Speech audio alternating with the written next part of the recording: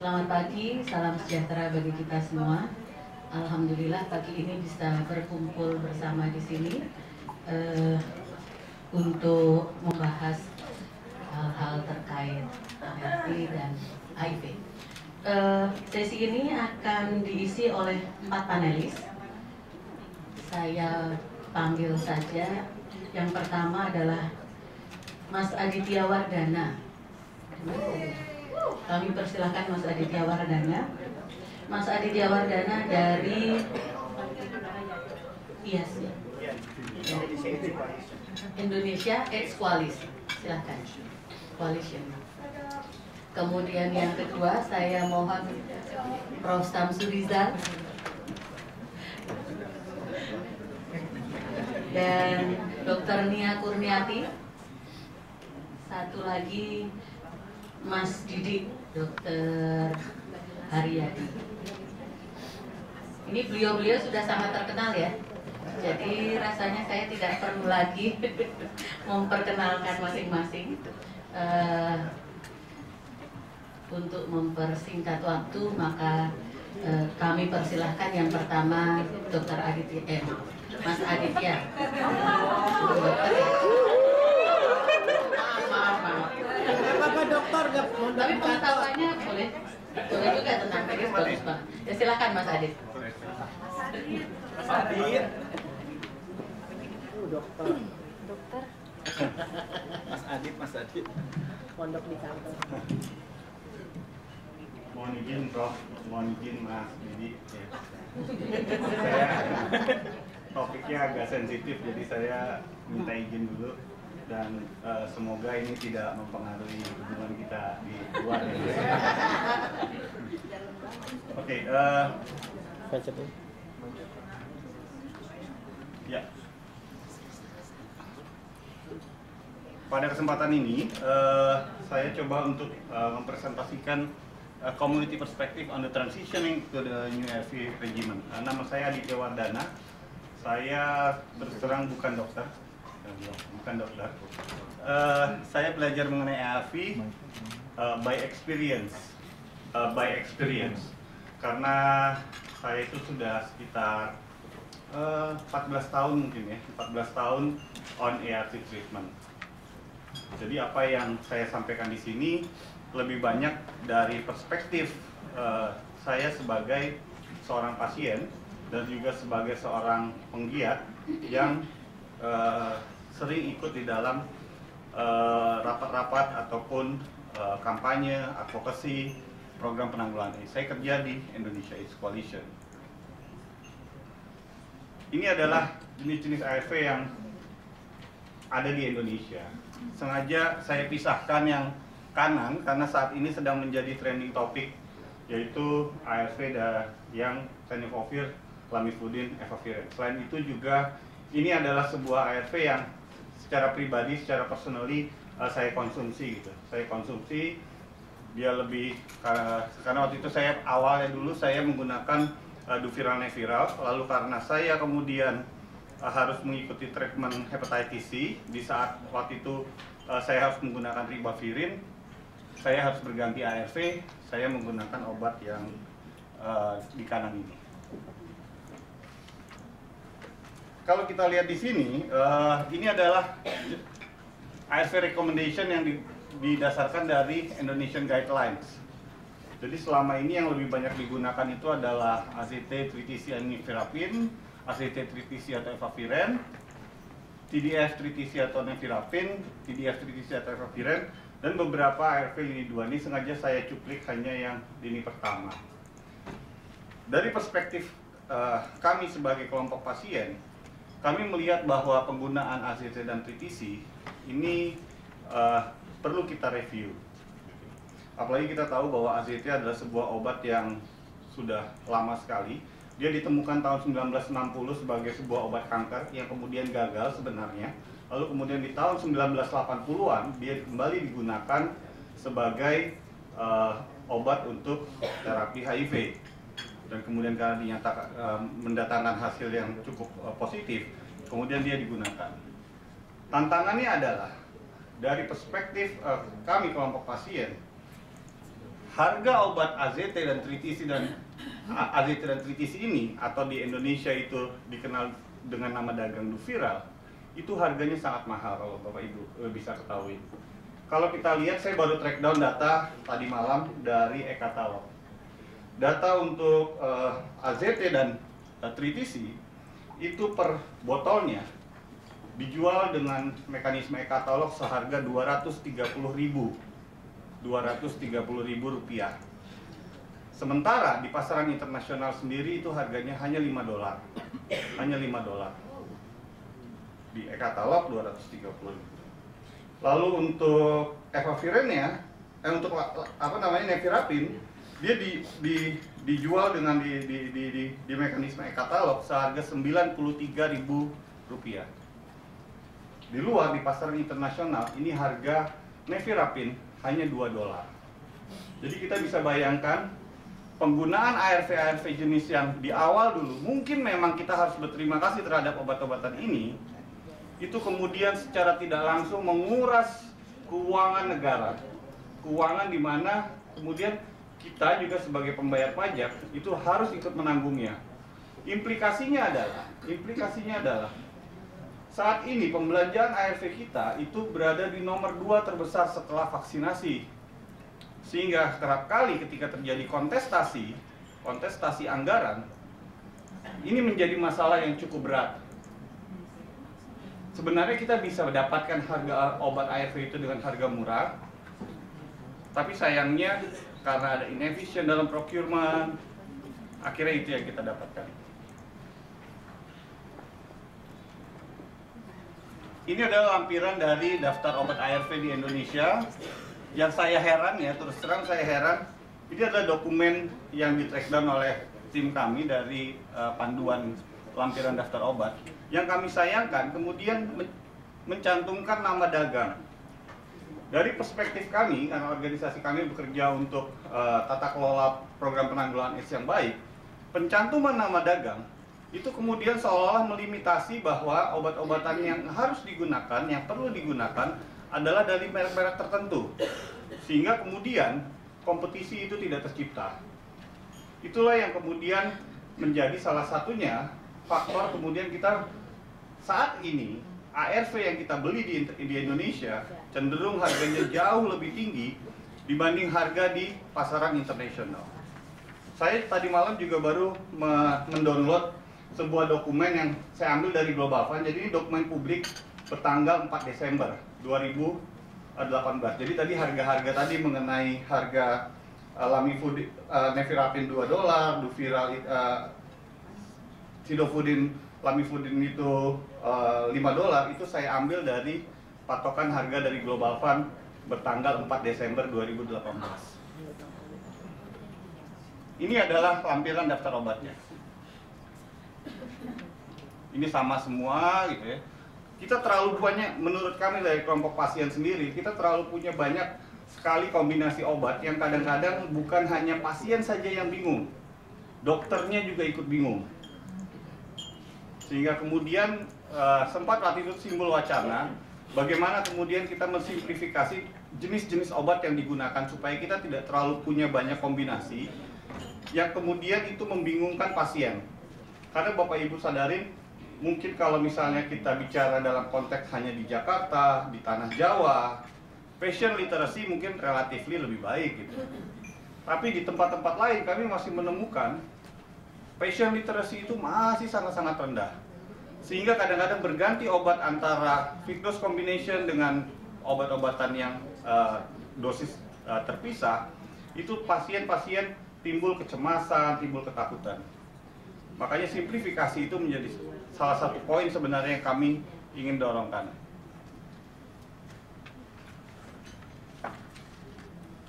Kami juga ingin menyoroti masalah development process of ART treatment guidelines. Karena selama ini kami sebagai kelompok pasien menganggap bahwa keterlibatan pasien, kelompok pasien ditinggalkan di dalam proses penyusunan eh, ART treatment guidelines. Seringkali pertemuan-pertemuannya hanya dilakukan oleh pemerintah, Kementerian Kesehatan, bersama expert panel yang melahirkan ART guidelines. Dan tidak bisa dipungkiri, beberapa indikasi menunjukkan bahwa sometimes it happen under influence from pharmaceutical uh, pharmaceutical company.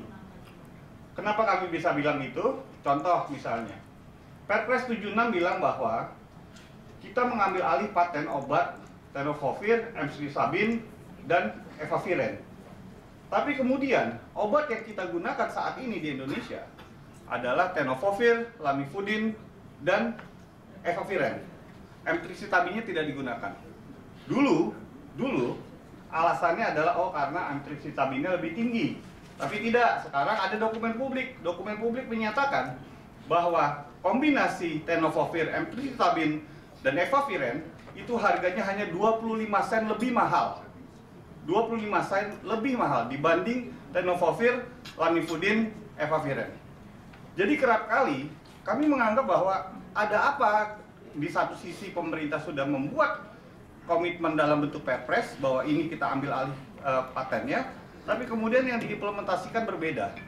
Sehingga kami menenggarai bisa jadi ada influence dari pharmaceutical company untuk menggunakan obat-obatan mereka. Ini adalah proses yang ingin kami dorongkan. Di mana kemudian treatment guideline itu harusnya juga menyertakan patient group. Kalau memang patient groupnya tidak tahu, tidak mampu, tidak ya kurang literasi, educate mereka. Dan engage mereka. Supaya kemudian apa yang kemudian diputuskan mengenai hidup kami itu juga melibatkan kami sebagai uh, beneficiary. Sehingga tidak lagi hanya government dan panel expert yang beranggapan bahwa passion itu hanya batas penerima saja. Tadi di dalam uh, kesempatan uh, presentasi yang awal juga sempat beberapa sudah disinggung. Sebenarnya kalau bicara kebutuhan yang kami butuhkan itu tidak tidak sulit, tidak apa namanya, tidak rumit, tidak macam-macam kok.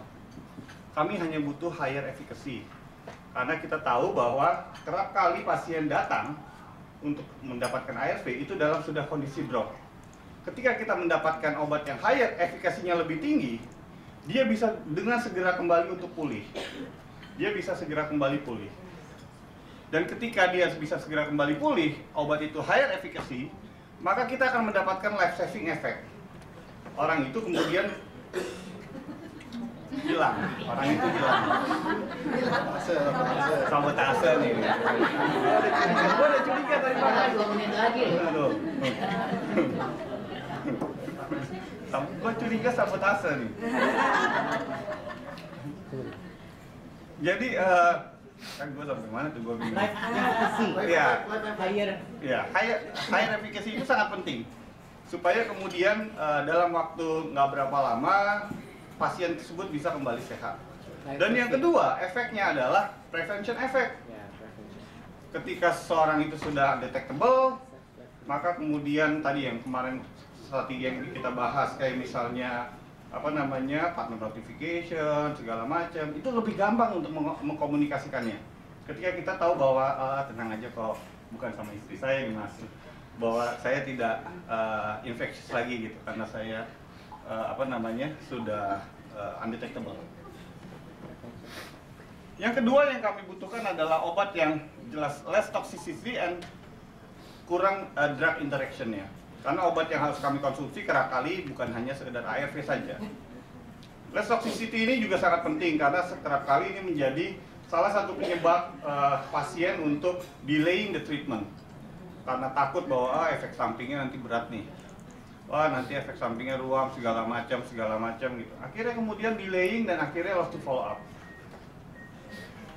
Dan kita harus ingat bahwa angka lost to follow up uh, orang on treatment di Indonesia itu sangat-sangat tinggi sangat-sangat tinggi kalau itu tidak segera kita atasi jumlah orang yang setiap bulannya on treatment new on treatment sama yang lost to follow up lebih besar yang lost to follow up jadi lama-lama angkanya bisa habis terus. Simplification menjadi penting. Kalau ini karena saya terus terang mengalami sendiri. Dulu saya mengonsumsi lamifud, uh, sidofudin, lamifudin, dan uh, nevirapin. Itu saya harus mengonsumsi banyak pil. Jadi pill burden di dalam tubuh saya itu benar-benar berasa sekali gitu. Saya kadang lupa, kadang ketinggalan, keting- kadang bawanya cuman uh, duviralnya saja, neviralnya ketinggalan gitu. Ap- Apalagi kan saya sibuk kan gitu kan. Jadi kadang-kadang suka lupa, tapi kemudian saya ganti, ganti ke Victus Combination. Cukup satu kali sehari, saya minum sebelum tidur gitu ya. Enggak, enggak lupa, enggak lupa. Enggak, tidak lupa, karena saya dimarahin sama Mbak Nurlan nanti kalau saya lupa gitu. Saya ngambil, saya pasien dari eh, klinik Angsa Merah. Eh, promosi. Eh, apa namanya? Dengan simplification ini, kemudian meningkatkan adherence dan eh, apa namanya? kepatuhan diri saya, kedisiplinan saya untuk mengonsumsi obat. Dan yang paling penting ini, buat IAC, kami sangat butuh harga yang affordable price. Karena itu tadi, bahwa eh, target kita itu sekarang kita baru 14 persen. 14 persen. Sementara angkanya sudah sekitar 1 triliun rupiah. Kalau kita tidak dapatkan obat yang lebih eh, murah, pasti kita akan jebol dalam subsidi. Dan selain itu, obat-obatan yang terbaru berdasarkan data, harganya juga tidak jauh lebih mahal. Jauh seperti ini saya bacakan. Contoh misalnya, ini saya bukan promosi ya, saya bukan pabrik obat juga. Eh, apa namanya, dolutegravir base, itu harganya hanya sekitar 6 dolar juga. Sama seperti yang tadi adalah uh, tenofovir, efavirenz yang harganya 5,95 dolar, 6 dolar. Hanya sekitar kisarannya tidak akan jauh. Jadi belum tentu bahwa new regimen itu selalu berimplikasi pada harga. Karena data membuktikan kalau memang proses inefisiensinya adalah di procurement kita, di situlah yang harus kita benarin. Bukan kemudian itu menjadi penghalang kita untuk kemudian menghalangi pasien mendapatkan uh, newer uh, ARV yang lebih efik le- efikasinya lebih baik, lebih bisa ditoleransi, juga memiliki genetic barrier yang tinggi. Mo- mohon Iya, dipercepat. dikit lagi dua slide lagi. Di other side, ini yang menjadi salah satu tantangan kenapa newer ARV itu susah masuk ke Indonesia. Kalau kita lihat, eh, paten proses di Indonesia itu dikuasai oleh macan, oleh singa-singa. Kita mungkin nggak pernah punya bayangan. Kami melakukan track down semua paten obat paten yang ada di ARV yang kita pakai. Itu kita track down kapan dia mulai diregistrasi dan kapan dia berakhir. Contoh kita ambil contoh eh, tenofovir. Tenofovir baru mulai kita gunakan paling sekitar 8-9 tahun terakhir ini baru mulai aja. Patennya sebenarnya sudah didaftarkan oleh pemilik patennya bahkan dari tahun 98 dan dia akan berakhir di 2018. Bayangkan di sem- 90 1998 dua tahun setelah dia mendapatkan paten di internasionalnya obat itu sudah dipatenkan di sini untuk kemudian memastikan bahwa monopoli harus bisa berjalan di Indonesia. Lalu registration process. Registration process ini seperti hutan rimba. Kita tidak pernah tahu bagaimana prosesnya, kita- monopol apa namanya, informasinya selalu terbatas. Dan baru beberapa saat ini saja kemarin keluar peraturan eh, kepala BPOM bahwa untuk obat-obatan program sebenarnya bisa melalui mekanisme fast track. Dulu itu mekanismenya tidak clear, obat mana yang boleh masuk fast track, mana yang tidak boleh fast track. Sehingga kemudian itu menciptakan iklim yang tidak sehat bagi kompetisi obat. Jadi itu saya istilahkan seperti kita harus berhadapan dengan macan dan kita harus berada di hutan rimba. Kalau saya sih pasti udah pasti hilang di sini. Ini slide saya yang terakhir. Policy for the drug availability, accessibility, and affordability ruwet di Indonesia. Ruwet. Mulai dari patent law dan trade flexibility, itu menjadi barriers kadang-kadang. Medicine registration juga itu menjadi barriers. Lalu patent linkage registration process. Indonesia secara tidak langsung juga menerapkan TRIP plus. Jadi obat itu tidak bisa diregistrasi kalau patennya sudah terdaftar. Padahal sebenarnya ini separated process. Tapi Indonesia sayangnya di dalam kebijakan kita itu memberlakukan itu. Lalu ada taxation, obat itu masih dianggap pajak walaupun untuk beberapa obat program itu bisa dikenakan bisa bisa memintakan waiver ada lagi custom clearance government program national program ah, saya sampai bingung sampai bingung terlalu banyak kebijakan hanya untuk mengantarkan satu obat dari perusahaan farmasi sampai ke mulut pasien. Banyak sekali kebijakannya, banyak sekali entitas yang terlibat, dan kemudian akhirnya menyebabkan biaya tinggi. Ini rekomendasi, tiga rekomendasi dari kami. Yang pertama, empowering the patient. Itu yang paling penting. Dengarkan suara pasien. Kalau mereka tidak tahu, empowering. Ajak mereka terlibat dan akomodir mereka di dalam penyusunan pembuatan treatment policy and protokol.